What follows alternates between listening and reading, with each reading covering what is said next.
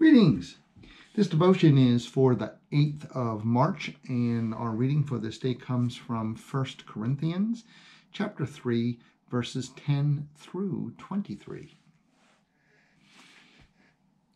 According to the grace of God given to me, like a skilled master builder, I laid a foundation, and someone else is building on it. Each builder must choose with care how to build on it, for no one can lay any foundation other than the one that has been laid. And that foundation is Jesus Christ. Now, if anyone builds on the foundation with gold, silver, precious stones, wood, hay, straw, the work of each builder will become visible, for the day will disclose it, because it will be revealed with fire, and the fire will test what sort of work each has done. If what has been built on the foundation survives, the builder will receive a reward. If the work is burned up, the builder will suffer loss. The builder will be saved, but only as through fire.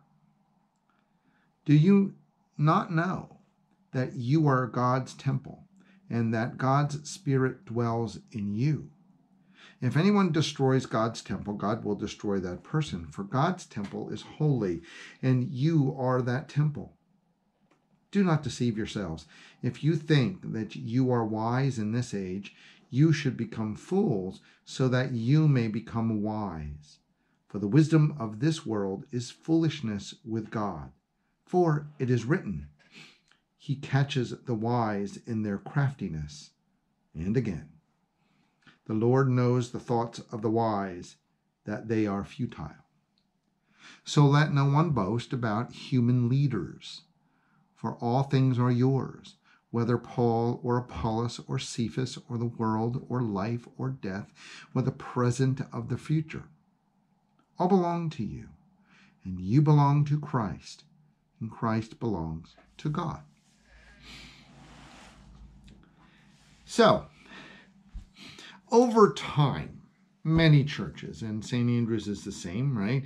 They they boast a long line of of pastors. And St. Andrews, like many churches, if you're not familiar with St. Andrews, you walk in the one door and there is basically a picture wall showing the history of, of the pastors that have been there. Again, you may all know other churches who have done the same thing. Now, the thing is about these clergy, they're not all the same, are they? Right? I'm not Pastor Laura, who was not Pastor Adamai and neither should it be that way. Right? Paul, Paul talks to the Corinthians in this way. Uh, they had a few leaders in their short time as a church uh, Apollos and Cephas, and of course Paul. And none of them were better than the other, they were just different. Paul talks about the glue that holds them together, or or the foundation, if if you will, that it absolutely has to be Jesus, and and everybody builds on top of that foundation. Right?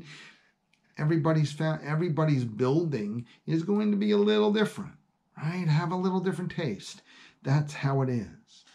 But the focus always has to be on the foundation, has to be on Jesus, not on the leader, but on the foundation. Let us pray. Heavenly God, we give you many, many thanks for the many, many leaders you have sent us, and indeed, God, their varied and different styles. But mostly, dear God, we are thankful for Jesus and his message of love and grace. Help us, dear God, to always, no matter what, cling to that message of love.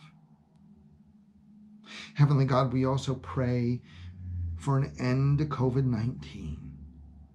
We pray, dear God, for all those who have been affected by that people who have lost loved ones, people who are suffering now, people who are struggling to get vaccine, and people on the front lines who work to help their people. Heavenly God, be with all. Bring an end to this virus. It is through Jesus we do pray. Amen.